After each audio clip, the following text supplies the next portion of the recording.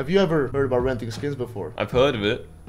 Have It's a crazy idea. I've never done it, but if I don't want to pay full price for a skin, it makes sense. If you don't want to spend hundreds of dollars on your skins, just go and do better. Spend a few bucks, rent them for a day. If you want to make money, rent them out. Because even Tweeday, you know that Tweeday is like he's making hella bank Yeah, yeah, by yeah. Uh, by renting out his own. I heard inventory. about that. He put like a lot of skins in there, and now he just collects his money monthly, and Exactly. he's a happy, happy guy. Easy money, blood.